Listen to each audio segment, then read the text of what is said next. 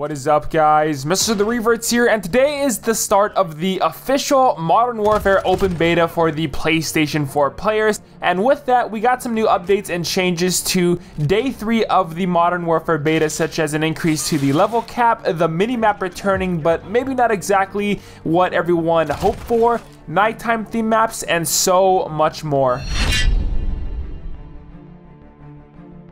So first things first, one of the biggest reasons why I haven't been putting in as much time as I normally would during a Call of Duty beta is because the level cap was not increased. And I'm not sure about how you guys feel, but to me it seems like this was the fastest leveling slash playthrough COD beta that I've ever experienced, but Infinity Ward has stated that they will be increasing the level cap to 20 for day 3, which is really nice to hear, and the items we're going to be gaining access to are the AUG SMG at level 13, the SA-87 LMG at 16, the EBR-14 Marksman Rifle at level 12, and the Strela P rocket launcher. Now for the perks, we will use the Scavenger at level 12, which allows players to replenish ammo from dead players, EOD at level 15, which reduces damage from explosives, Ghost at level 13, and I know right off the bat, everyone is going to be using that for their tier 2 slot. And finally, Battle Harden at level 18, which reduces the strength of enemy flash, stuns, or EMP grenades. Now for the equipment, we are going to be able to use the smoke grenade at level 14, and then the stim, which is a manual healing syringe you can inject into your player. It's kind of similar to the Black Ops 4 style healing system. And then finally for the kill streaks, we have the Precision Airstrike at level 15, the VTOL Jet at 20, and the support helo at level 11. Lastly, for the field upgrades, we get to use the recon drone, which has a slow recharge time, and essentially it is a remote control drone that will allow players to ping the locations of enemy players. Now, as for the bug when parties get disbanded after a game, they are working on a fix for that. It's still not working properly come day three of the beta. Hopefully this gets resolved soon because it is freaking annoying having to restart your game and going back to the main menu over and over again after um, you finish a game and want to party up with your same uh, team. So hopefully that, that gets fixed within a couple days here. Um, and then they also are looking to fix an issue with the cruise missile. I personally have never had this happen to me and if it did, I, I never noticed it, but um, it says the camera will remain static on the initial deployment scene and it's not working properly to display the map and enemy targets below. Once having control of the missile, it can become hard to control this is currently being looked into. And then for spawning and visuals, they say spawning is currently inconsistent on some maps, so thank you for sharing your videos with us and sharing your feedback. We'll continue to monitor the spawn systems and we'll update you if we deploy any changes. We will also be looking into lighting and exposure on various areas of the map, such as how you would view dark rooms from the outside of a building and vice versa, for example. Um, so spawning definitely a big issue in the beta. Um, one of the biggest issues I see amongst a lot of players. So um, share your feedback, guys. Let people, let the developers know what you're um, having issues with on the maps. And then next up here, they say clipping through vehicles and deployment cover. Character models are currently clipping through vehicles used during the infill sequence, and in some cases, when using the deployable cover field upgrade, these are currently being investigated. Um, for these Semtex grenades, I've had this happen to me a couple times. So if you throw a Semtex grenade on a door that you can open, then it will not explode until an enemy player opens the door or even your teammate. Um, that is very annoying. I've had that happen to me so many times in games, and that's a glitch. It's going to be fixed for weekend two of the beta. And then lastly here for the smoke effects on weapons, they say the smoke effect after firing your weapon is currently not displaying in game and this will be fixed by launch. So sadly, we're not gonna be able to have that effect come in the beta, um, but it will be ready to go and launch day.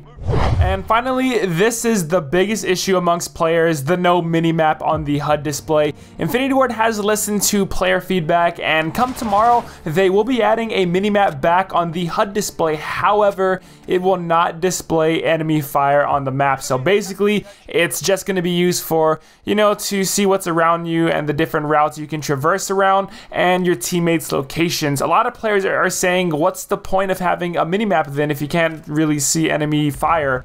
Um, personally, I don't really mind it. I'm gonna wait to try it out before I give my final thoughts, so I'll get back to you guys on that. But I do want to say I am thoroughly impressed with Infinity Ward listening and responding to this huge complaint.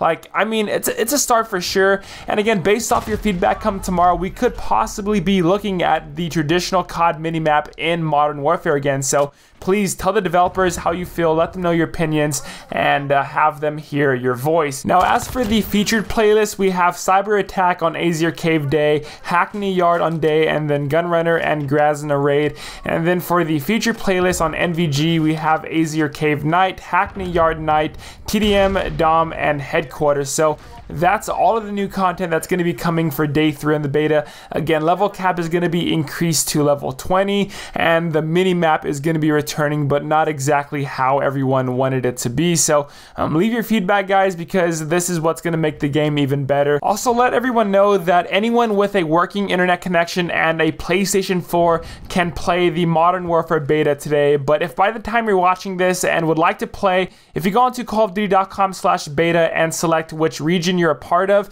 then you can earn a download code absolutely free. Um, I'm to have mine in the description if someone wants to use it along with the website. So, yeah, make sure you spread the word. Let people know that they can play a free open Call of Duty beta today. Now guys, as for my day 3 review of the Modern Warfare beta, I'm kind of coming down from that honeymoon phase with the game and starting to be a bit more critical. And I will admit more rage inducing. Campers are still super annoying to deal with, part of which I gotta admit having no minimap definitely does encourage players to play more defensively rather offensively because hardly anyone is gonna rush out towards gunfire. Like the smart thing to do is to just sit back and let them come to you. So I understand why there is heavy camping in this beta so far. But again, there are players upset that the minimap update won't show player footsteps.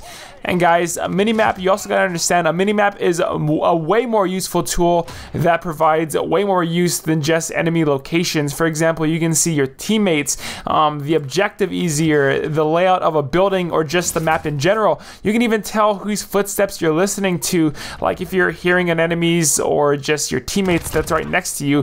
The minimap has so much more use, and I truly do hope that it returns. But I gotta admit, to be completely honest, if it does not return in its traditional form, then it is what it is. I'm slowly but surely adjusting to um, the playstyle of Modern Warfare. It's definitely very frustrating. In fact, I'm still having a hard time adjusting to the flow of the game, but I do get the devs are trying to innovate and switch it up a little bit, but you just have to be so careful with changing up core functions of a game that have existed for almost two decades now. Um, I'm still having fun, but definitely I am not putting in as much time as I normally do when a new COD beta drops. Um, but please tell me your thoughts about this down below in the comments, guys. What are your thoughts about day three of the beta? And thanks so much for watching. Love y'all so much. Till next time, I'll see you later.